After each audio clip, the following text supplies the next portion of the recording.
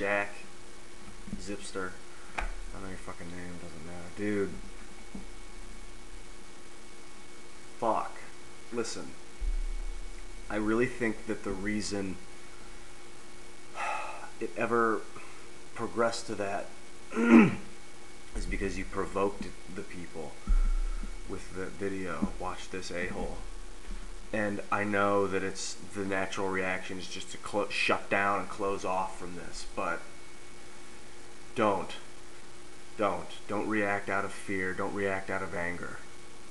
Just, just, it happened. But, you know, you, you, you can, you can handle the situation. You can do anything you fucking want to do. Do not stop doing this. What I would, I guess, what I would suggest is just try and try and make amends with whoever's doing this or whoever whoever you've been in conflict with. I know you don't want to. No one ever wants to, but who gives a fuck? Do it anyway. Make yourself do it. It's it's it, it feels good to let go of the anger.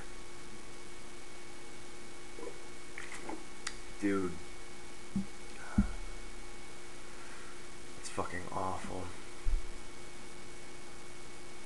Sorry that that happened.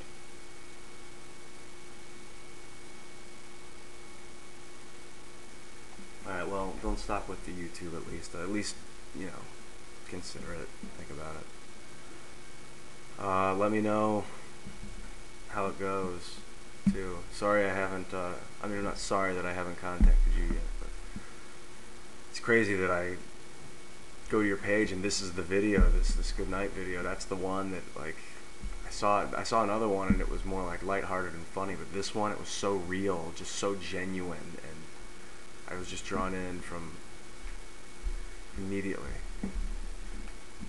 That was Amanda in the background. All right, man. I'll talk to you soon.